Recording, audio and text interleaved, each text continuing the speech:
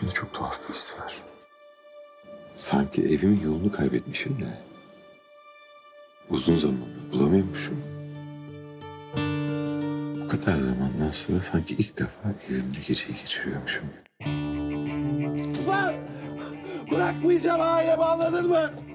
İrfan elimdeki her şeyi aldı. Ne demek her şeyi? Hemen bütün para gitti mi? Gitti. Nasıl yaptın ulan? Nasıl yaptın ulan? Biz kardeşiz İrfan. Kardeş katili mi olacaksın? İrfan. Gördün mü Süleyman bak zorluklar insanı kuyudan çıkartıp sultan yapıyor. Madem hesap kapatıyoruz tam kapatalım.